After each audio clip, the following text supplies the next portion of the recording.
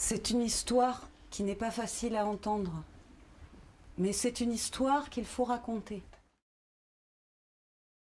Eufen Pripetschik brennt der Feuer run, und in Stieb ist heiß, und der Rebe lernt, kleine Kinder lernt, dem Aleph beißt, und der Rebe lernt, kleine Kinder lernt, dem Aleph beißt.